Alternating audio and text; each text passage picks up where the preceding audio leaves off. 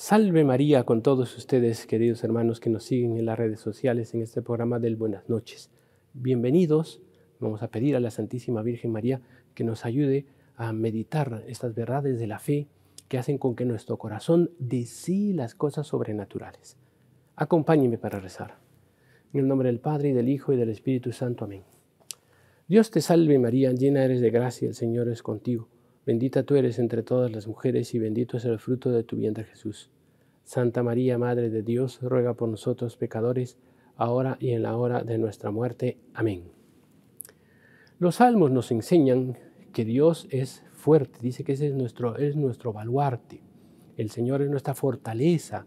¿A quién temeré? Entonces, si el Señor es fuerte, Él manda su gracia, que también es fuerte, para entrar en nuestro corazón y convertirnos, transformar nuestra mente, transformar nuestro pensamiento, transformar nuestro ser y convertirlo hacia Él. Y eso es lo que hizo el Señor Jesús con todos los santos que se han convertido. Muchos han sido fieles desde pequeños, otros se han convertido. Por ejemplo, San Pablo. Dios creó una gracia tan fuerte para San Pablo que él se convirtió y dijo, Señor, ¿quién eres tú? Y cambió su manera de pensar, su manera de proceder. Pero había muchos hermanos que estaban desconfiando con razón de su conversión. Entonces no creían que realmente se había convertido. Ese hombre que perseguía ahora está haciéndose de amigo, haciéndose...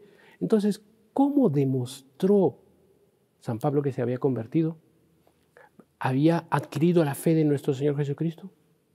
Con las obras. Por eso el apóstol Santiago dice, por las obras nosotros demostramos nuestra fe.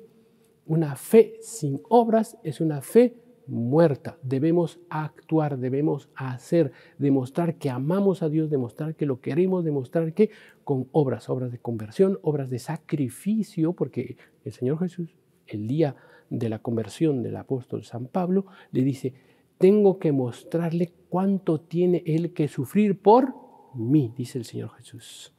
Entonces, eso es lo que nosotros debemos hacer. Una conversión verdadera hacia Dios es las obras que nos acarrean un sufrimiento para la vida eterna.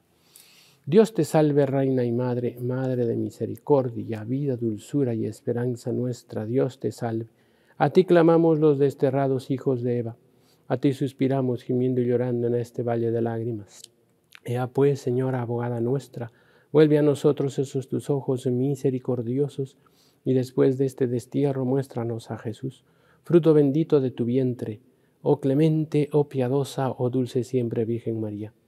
Ruega por nosotros, Santa Madre de Dios, para que seamos dignos de alcanzar las promesas y gracias de nuestro Señor Jesucristo. Amén. Salve María.